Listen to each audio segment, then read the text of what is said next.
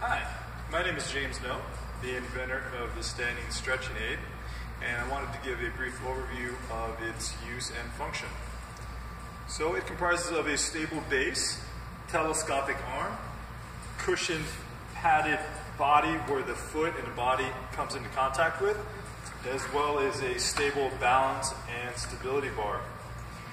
So the main stretch that it serves to address um, that people have difficulties executing is the stork stretch.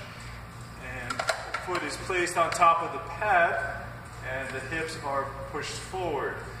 And so for individuals with limited mobility, the low height of the pad would really help them execute the stretch and gain all the benefit from the stretch.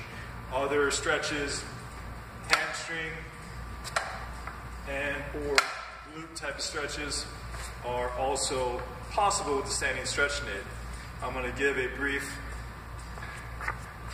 view of it from a 360 perspective. The base, telescopic arm, coming through the stability and balance bar. And there you have the standing stretching aid. Thank you.